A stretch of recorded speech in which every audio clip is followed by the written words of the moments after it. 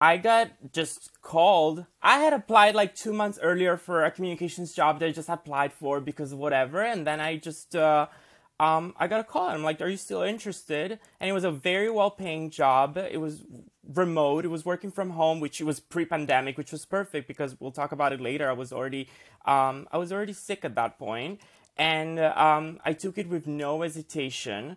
Um, and and I just I jumped on it. I mean, I didn't literally jump; I couldn't, but I jumped on it, and I feel like I grew up so much overnight. it's amazing how often we find ourselves doing that. Yeah, It's yeah, amazing yeah. how often we said, "I like." I say, "I walked into a room." No, I didn't. I rolled Yeah. into the room. Right? Yeah, how many times right? we find ourselves using terminology and we're like, "No, I didn't really do that. I really wish I could have."